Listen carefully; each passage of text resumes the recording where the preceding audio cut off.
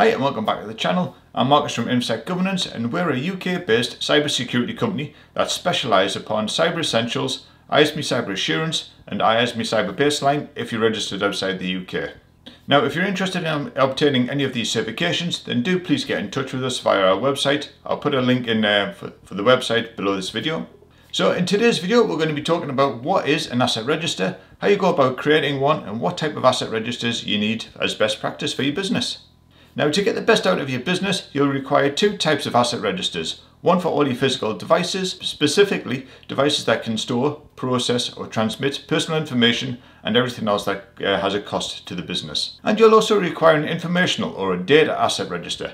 This register is generally based around assets that are again process, are used to process, transmit or store electronic data and which can be linked to your GDPR related data flows and mapping information. Now both these registers can be stored within the same workbook. So when it comes to your physical asset register, we're going to be concentrating on devices such as your PCs, your laptops, your servers, your printers, your mobile devices, any removable media that you might have. And this might even include wireless devices and so forth. Now, for completeness, you should also look at everything else that's within your business that has a cost allocated to the business. You know, for example, um, shredders, NAS devices, um, cars, things like that. So, how do we go about starting to create and populate an asset register for your business? As a good starting point, if you're going to be using Microsoft Azure Active Directory, things like that, you can just export that information and then you can import that into your spreadsheet and you can start from there.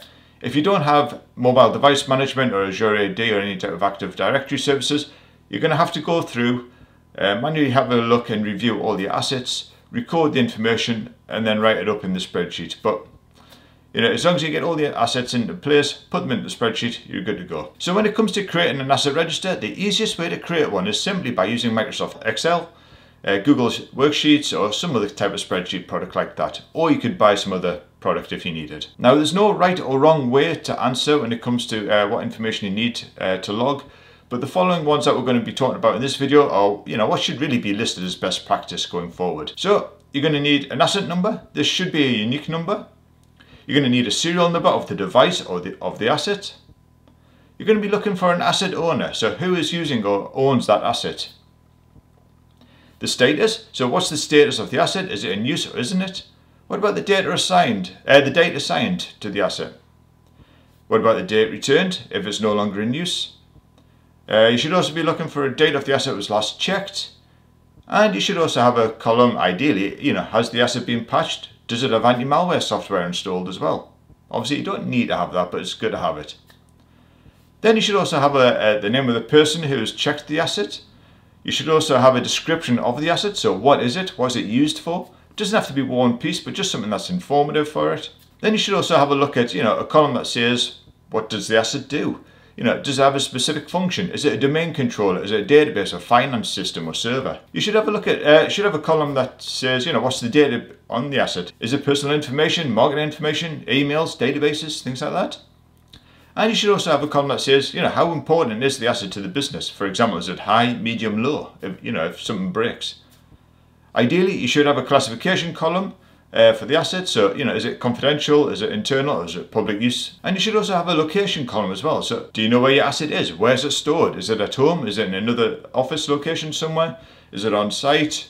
Is it in what department? And it's always nice though as well to have a column to say, you know, what's the asset cost? What's the value for that asset to the business? Then lastly, you should also have a look at, you know, maybe having a column that says notes, you know, have a notes field, putting your notes in there that you might need. And that's pretty much it for the physical asset register. It sounds a lot, but it doesn't take a lot uh, to get done. You can go through, put all that information in. A lot of it could be automated potentially. Now, when it comes to your informational asset register, this is uh, all based around you know, similar sort of guidelines. You need to identify what informational uh, resources you have within the business and log them. So for this register, you could have uh, some of the following. Again, this is not set in stone or anything like that, and it can be adjusted for your business. But we're going to be looking at some of the following. So again, you're going to need an asset number. This should be nice and unique, so you can tie it all up. You know, what is the asset? Is it a paper-based asset? Is it electronic asset? Things like that.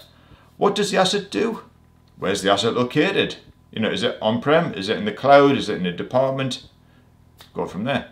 Again, we should have an asset owner or a team of people who are responsible for that asset. Should have a column to say, you know, does it process personal information?